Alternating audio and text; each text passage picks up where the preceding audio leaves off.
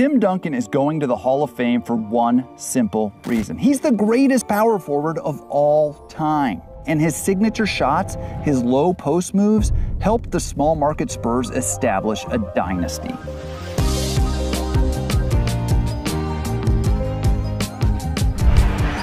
Back to number 21. Timmy. Yeah! Duncan's relatively subdued demeanor kept him out of the headlines, but his performance on the court kept the Spurs at the top of the Western Conference standings for years. His repertoire was comprehensive.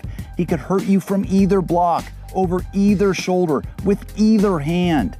He could patiently wait for an opening or pounce when given an inch. Oh, but one move in particular stands out his patented bank shot from the left block. It was both routine and devastating, and it all starts with fundamental footwork. Duncan could get to his famous bank shot from both face up and back to the basket situations. Let's start with the face ups. After catching the ball on the left side, Timmy would use jab steps, pump fakes, and his cutting teammates to get his defenders on their heels. And as soon as they were, he'd rise up and send the ball ricocheting sweetly into the bottom of the net. Half geometry, half basketball poetry. The bank was always open when Duncan was facing up his defender, no matter who it was. Duncan knocks it in off the glass.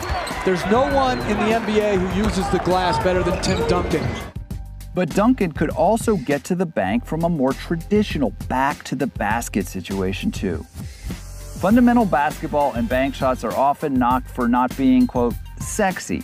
But Duncan's ability to create space while spinning over either shoulder is objectively beautiful. It'll be to the glass. It's so automatic. You know where he's headed. You just can't stop him. The Spurs won 50 games or more in every one of his 19 seasons. He never missed the postseason. And of course, those five rings are unforgettable. But if you're like me, when you close your eyes and think about the greatest power forward of all time, you'll always picture him over on the left block, knocking down that legendary bank shot.